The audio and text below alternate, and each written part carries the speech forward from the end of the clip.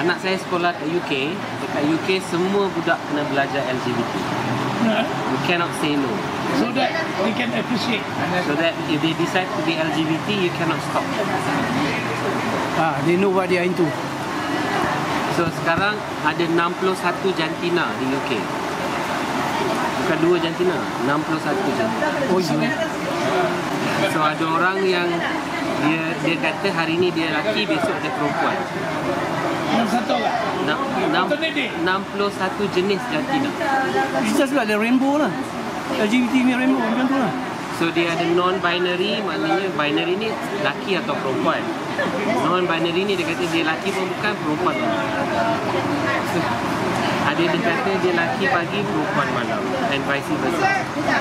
So is the gender identity or in the UK kita panggil gender identity crisis sangat-sangat uh, membimbangkan lah. bila kita nak hantar anak kita ke sekolah kita pun risau and they must learn about this kita tak boleh keluarkan anak kita daripada sekolah sebab law is very uh, strict unless you can afford it you hantar dia ke Islamic school tapi mahal lah Islamic school You mean all government school tapi mana all government schools from, dia mana? from this year September kena belajar dia orang panggil equality uh, equal- e- equality syllabus Oh. maknanya semua orang sama dan you you tak boleh panggil dia boy atau girl sampai dia umur 16 tahun okay. kenapa saya Alright.